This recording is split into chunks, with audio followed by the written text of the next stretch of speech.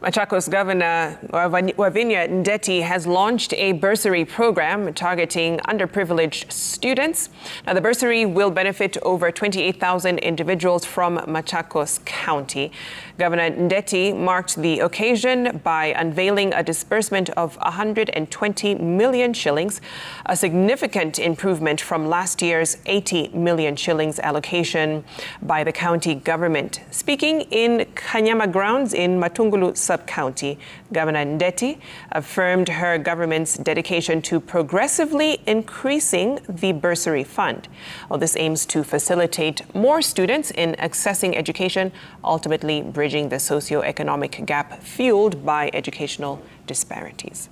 It has occurred to me that the hard skills becoming extinct in society despite growing demand for such skills such as masonry, carpentry, uh, plumbing, electrical, and engineering, among others. In this regard, my government shall continue to revamp our tertiary institutions and offer bursaries to our young men and women who are willing to pursue careers in those fields.